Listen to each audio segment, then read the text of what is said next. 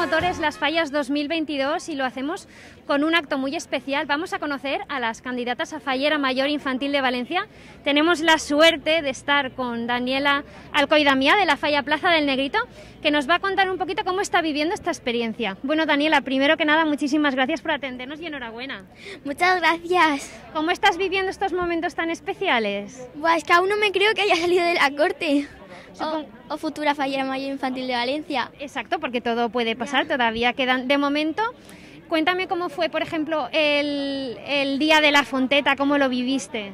Buah, lo viví genial, con muchos nervios y encima salí eh, la última en desfilar y la penúltima eh, de, de candidatas a fallera mayor infantil de Valencia. Entonces tenía muchísimos nervios, pero cuando salí me olvidé de todo y fui corriendo. Ya vimos que te emocionaste, no es para menos, ¿verdad? Además estaban ahí tu familia, la comisión apoyándote, ¿verdad? Sí, sí, estaban todos súper contentos porque no había tenido una, fallera, una corte de honor o futura falla mayor infantil de Valencia desde hace muchísimo. Sí.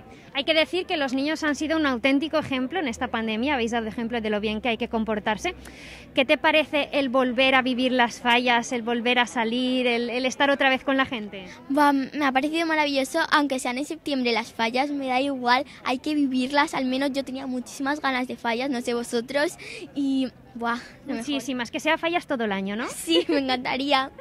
Oye, y una pregunta, eh, a ver, ¿qué, te, ¿qué sería para ti el hecho de ser fallera mayor infantil de Valencia? Sería un sería como un privilegio, como, buah, en serio yo soy, sería un privilegio grandísimo. ¿Y por qué crees que puedes representar a los niños de Valencia en fallas? Porque me parece que he sido fallera, eh, porque soy fallera desde pequeñita y me sé comportar muy bien, casi nunca me quejo y me encantaría encender una llamita en el corazón de los falleros. Muy bien, pues oye, que tengas muchísima suerte y te voy a dar la oportunidad de que mandes un mensaje a quien tú quieras desde aquí, desde el periodi.com. Eh, le voy a mandar un mensaje a toda mi falla que le quiero mucho y que un besazo. ¡Mua! Muchísimas gracias y mucha suerte. De nada.